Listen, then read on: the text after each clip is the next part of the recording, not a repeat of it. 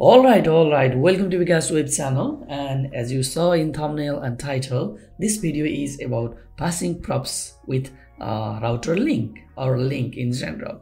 In today's video, I will be going through uh, how you can pass uh, state when you are clicking links. For example, this is a link and this is also a link and even these are links. So when you pass each of these links, uh, and you can be passing you can be clicking things from different pages and coming back to the uh, different routes right? So how to pass uh, dynamic states based on from where you are clicking that link. So that's uh, all this video is about. And if that sounds good please smash that like button. And if you are new to this channel and if you like this kind of content feel free to subscribe my channel. With that being said let's start the video all right so uh, as you can see i'm also using the same project from uh, previous and here is the code. So uh, in our previous videos we have already gone through all the uh, route setup with the new uh, react router v6 and also how to do uh, nested routing and not only that how to do protected routes and how to do public routes and so on. In this video where we what we will be focusing is how you can pass uh, props or state in the link. One way to pass is as you can see each of these uh, component that we have rendered inside route they are themselves uh, component okay? So for example i already uh, showed you in one of my video if i do like this and if i say hello then technically this is a valid thing. So you see our typescript our uh, this this code code is not complaining anything. So this is and to show you that again if i go to tabs now you will see hello obviously you will not see inner tabs because we are not using anything else but you can see this. And if i go back and do undo then you will see our tabs as normal. Similarly when you know that this is component just like we pass props in component we can pass props and our props can be instead of props you can even call it state. It's up to you how you will like to call it. Let's say i will call it props. And in that case since this props is not assignable there so we have to go to tabs. And here you can just do props and you can give it any. Or if you want to follow uh, along with typescript then you can create a state here and then you can pass that state. Definitely i'm not going to do that in this video but you got the idea. So now if i save it here if i go i'm still getting some sort of warning.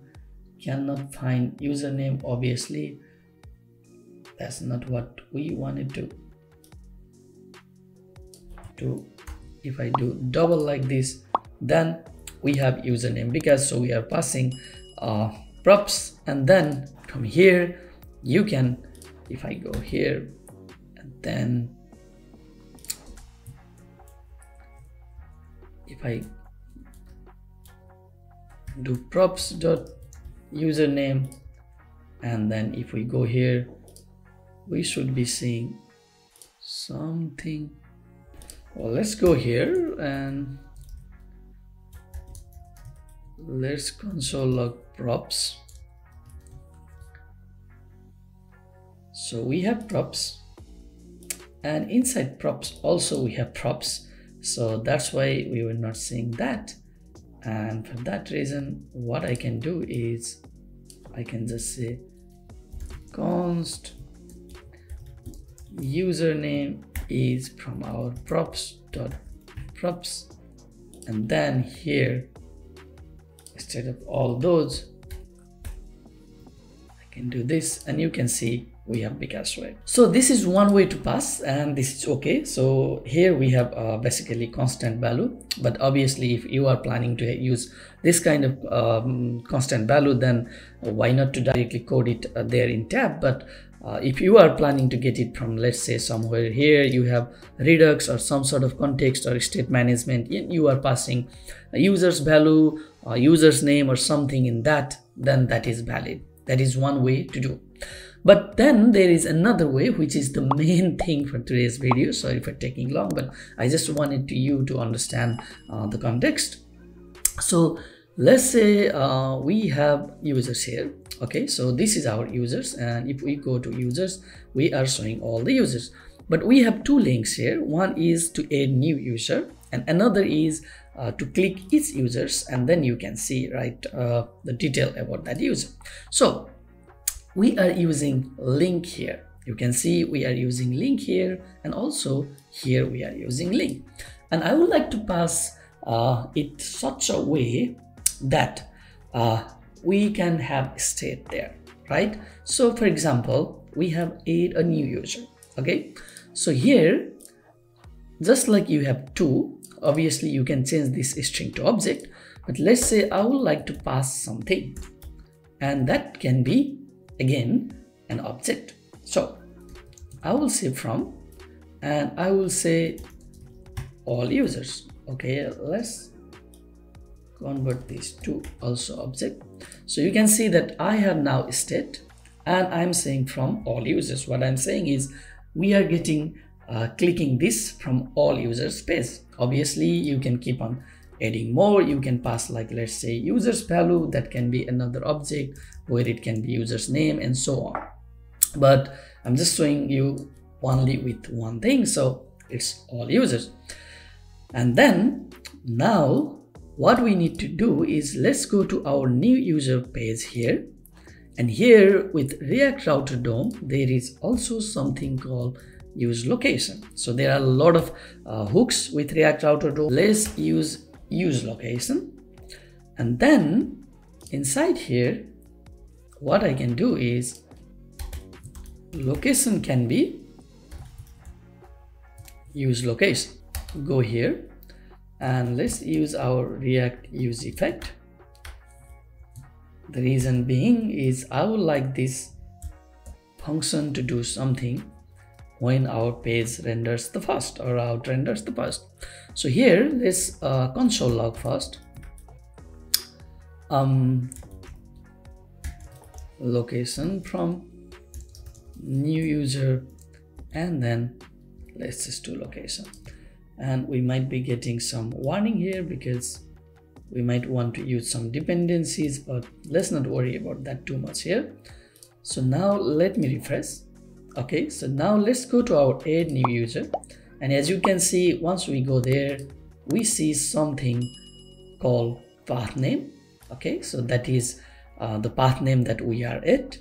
And then we also have something called state and that state is nothing than what we have been passing from here. And instead of state uh, we can well let's let's just have it here. So it says you can see all users. And as I said for example if I want to pass something else let's say username and we can say username is Web sorry oh.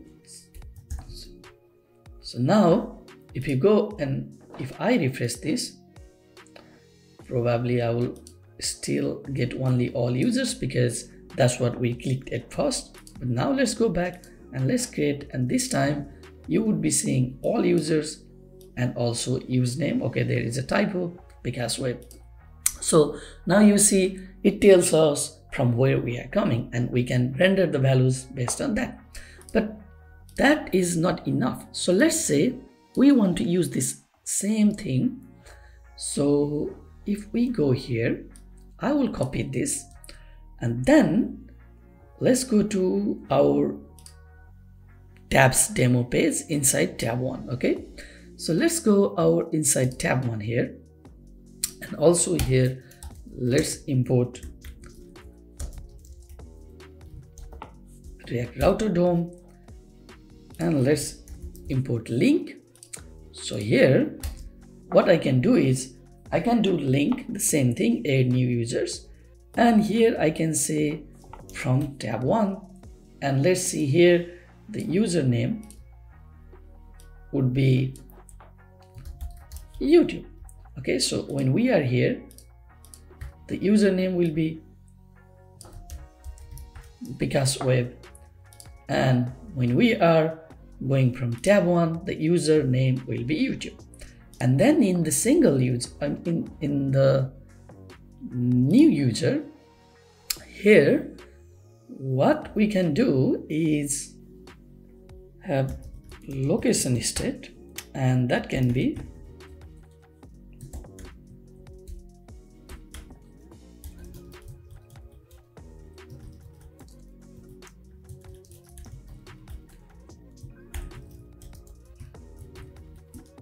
so it will be our state. So we will have some object from that's empty.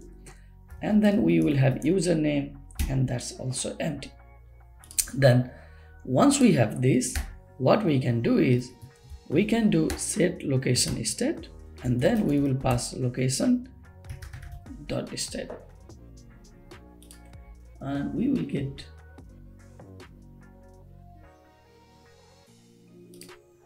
so here if we can see if we have location dot state in that case because there is a chance that we might not have this. So let's also say let state is location dot state as any and then okay so now what we can do is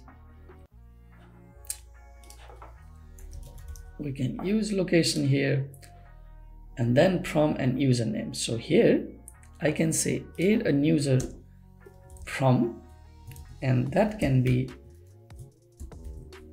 our location state dot from. And then we can say by and that can be location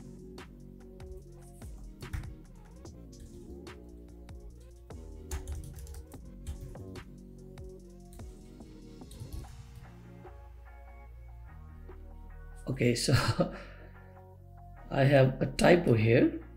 So let's just use this. And that can be username so now let's save this let's go here so we are here okay so then we go to users and now if I click add a new user you can say add new user from all users page by Bikash Web. However, if I go back here, if I go to tabs, and if I go from here, then you say add a new user, new user from tab 1 by YouTube. So as you can see that based on from where we are clicking, we are saying that. And there was a issue that we solved here. So if you see, uh, we had issue where I had to check this location.a and I had to do this all any and everything. And that is because there can be situation where you will be just refreshing this let's say I just enter this I copied this I go here and I enter in this situation we are not coming from anywhere else okay?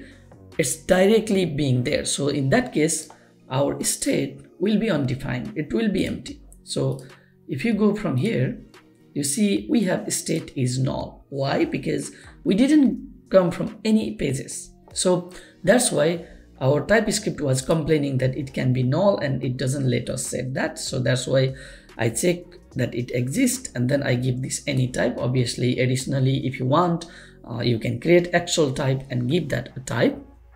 And then I set the location state and I'm using the data here. And since we are using React use effect and passing location, so every time location changes, this will reflect the change. So that's all about this video. As you can see, uh, with this approach, from where you are calling, what props you are passing, it's up to you and you can do a lot with this.